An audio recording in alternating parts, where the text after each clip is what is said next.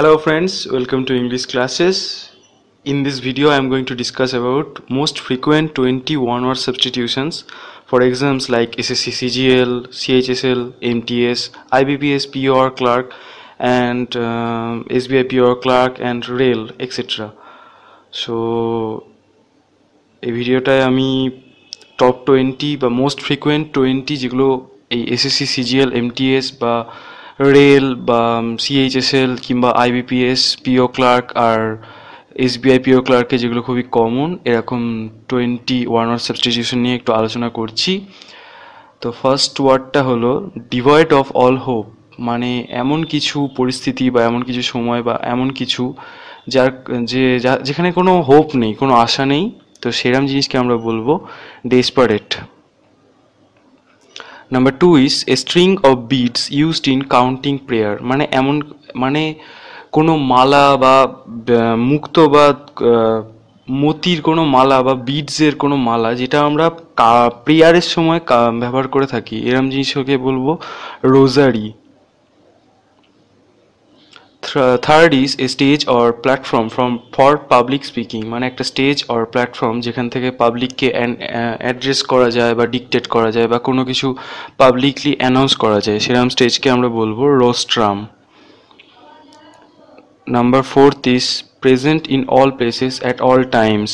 মানে একই সময় এবং সব সময়, সব জায়গায় উপস্থিত এমন কেউ, যেটা একমাত্র একজনই হতে পারে, সেটা হলো ভগবান, গড তো সেরকম জনকে বলব omnipresent number fifth is one who believes amorously without serious intent এমন কেউ যে সবসময় হাসি খুশি এবং মজার মধ্যে থাকে এবং সিরিয়াস ইন্টেন্ট যার মধ্যে খুবই কম থাকে সেরকম লোককে আমরা বলব flirt number six is one who walks in sleep মানে ঘুমের মধ্যে হাঁটার যে রোগ বা যে হাঁটে সেরকম লোককে আমরা বলব somnambulist. Number seventh is that which can not be avoided মানে এমন কিছু যেটা আমরা কোনোদিনই অ্যাভয়েড করতে পারব না। Suppose death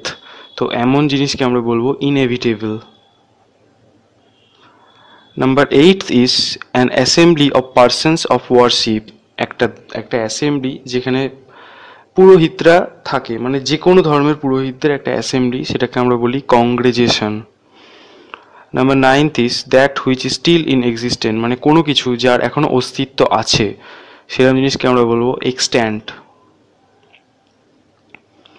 number tenth is giving undue favours to one's own kith and kin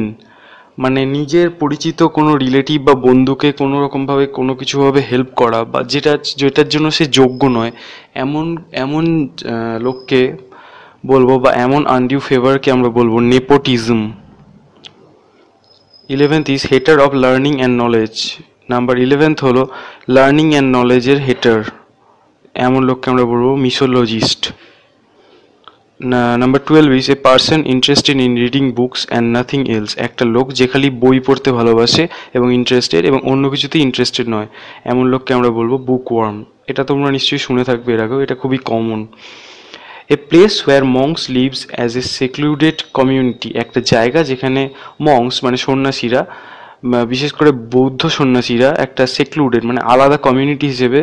বসবাস করে। সেটা সেরকম জায়গাকে আমরা বলব monastery number fourteen this without risk of punishment মানে কোনো কিছু যেখানে শাস্তির কোনো রিস্ক নেই, এমন জিনিসকে আমরা বলব impunity